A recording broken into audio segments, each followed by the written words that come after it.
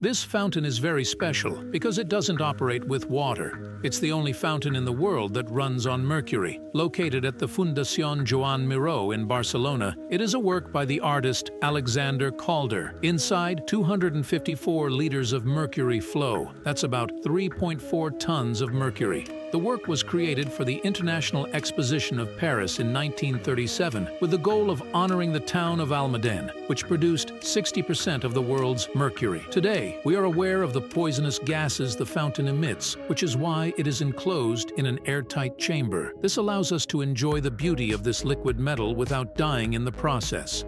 Cool, right?